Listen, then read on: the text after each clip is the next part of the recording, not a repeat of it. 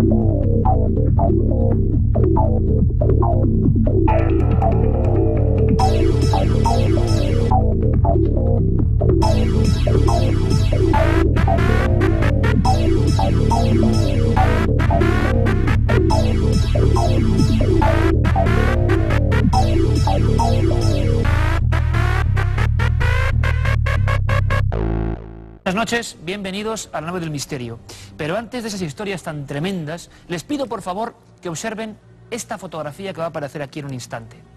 La fotografía tiene algo que es como el instante suspendido eternamente. Muchas veces pienso en la expresión de, de misterio y de angustia que tuvieron que tener los primeros fotógrafos. El tiempo se congelaba y quedaba ahí para siempre.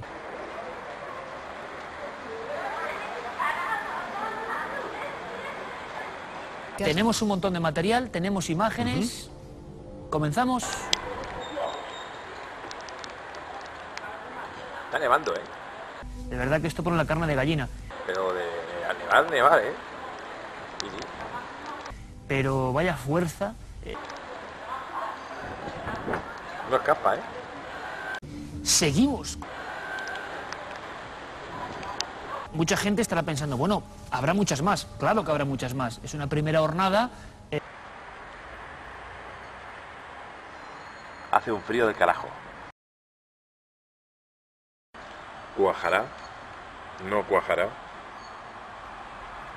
Nuestro compañero Paco Pérez Caballero, una vez más, se ha dado de bruces con el silencio.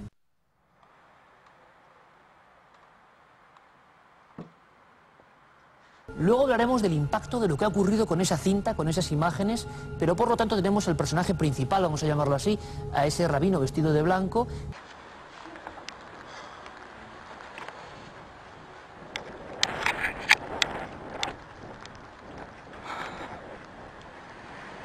Incluso sorpresa para la propia cadena que emitió las imágenes, que no deja de ser siniestro emitir esto en televisión.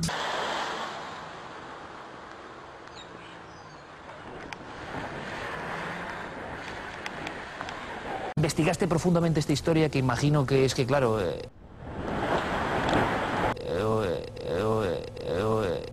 Bueno, pues parece que sí, que al final está nevando un poquito en Barcelona. es una historia sorprendente de película.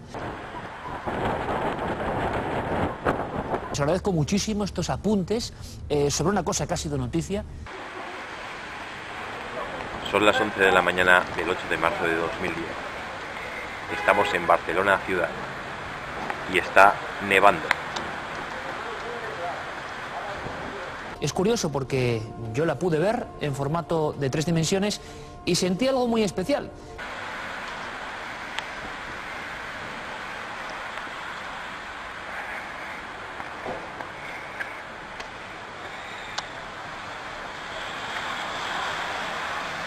Sentí que se abría un mundo nuevo, un mundo de fantasía y Tendremos que ir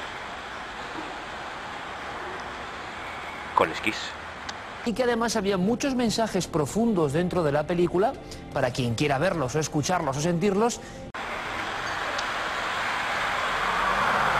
A partir de aquí quizá el cine es otra cosa y desde luego la estructura, el argumento, lo serio es lo de menos. A mí desde luego me ha encantado, lo vuelvo a repetir y animo a niños y a no tan niños a que se dejen llevar un poco por esa sensación de imaginación colectiva.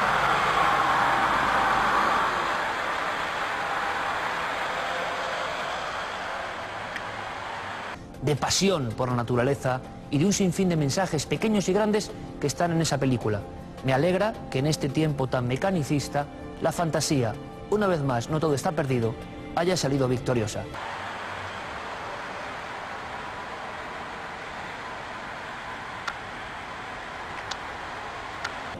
Hasta la próxima semana, amigos.